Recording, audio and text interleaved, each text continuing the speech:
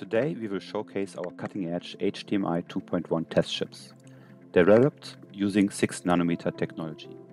At the heart of our setup is a HAPS prototyping system, featuring two boards. On the right side we have the HDMI 2.1 RX with the receiver port and on the left side we have the HDMI 2.1 TX with the transmitter port.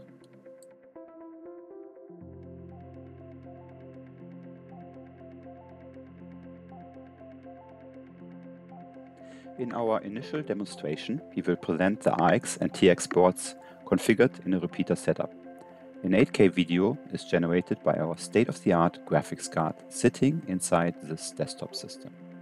The outgoing cable is connected to our fully compliant HDMI 2.1 RX board, which houses the Synopsys RX test chip, supporting 48 gigabit per second throughput across its four lanes. The incoming video signal is then relayed through the HAPS FPGA system to the second board on the left, containing our transmitter test chip. The transmitter test board is subsequently connected to the HDMI 8K protocol analyzer on the far left. This protocol analyzer is linked to the TV situated in the background of our setup.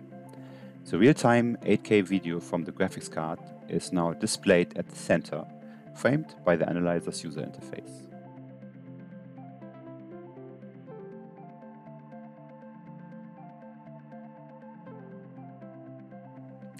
In our second demonstration, we will highlight the TX capabilities of our transmitter PHY.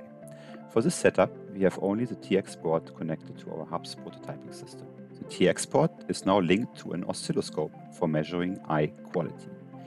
We have configured our hub system to transmit link training patterns as required by the HDMI 2.1 compliance test specification through our transmitter PHY.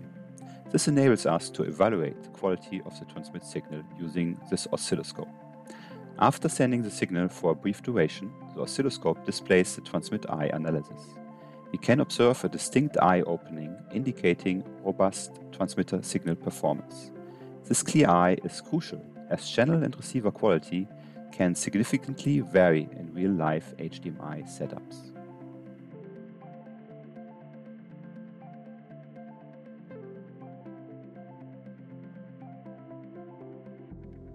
In our third demonstration, we will showcase the RX performance of our receiver PHY within an HDMI 2.1 compliance test environment.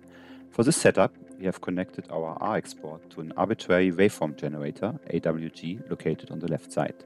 This generator is utilized to verify the test chip's compliance with bit error rate limits as specified in the HDMI 2.1 RX CTS. The waveform generator transmits a large number of progressively more impaired signals to our receiver. The HAPS FPGA implements a pattern matcher and reports any deviation, which are read back by the AWG. We can see on the screen that all tests are successful, like swing level, inter, intra, pair, link rate, tolerance, and jitter test.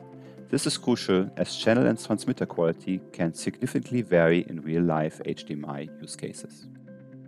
As we wrap up today's demonstration, we'd like to highlight the key takeaways. Our system has exhibited exceptional repeater functionality with the RX and TX modules operating seamlessly in tandem. We've also demonstrated clear TX eye diagrams and impeccable receiver CTS compliance. We hope you found this presentation informative and valuable. Thank you for watching.